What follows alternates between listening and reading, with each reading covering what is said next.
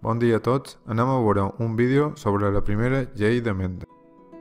La primera llei de Mendel diu que quan creuam dues soques pures, la primera generació és uniforme. Per explicar això, Mendel va establir el següent model.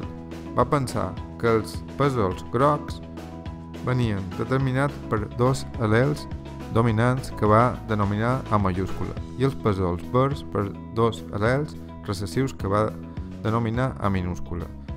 Dels pèsols grocs només podia venir un tipus de caràcter, la A majúscula, mentre que dels pèsols verds només podia venir l'al·lel A minúscula. D'aquesta manera, a la F sub 1, els individus eren tots A gran, A petita, i el caràcter que s'expressava era el groc, ja que l'al·lel A que determina el color groc és dominant sobre l'al·lel A minúscul.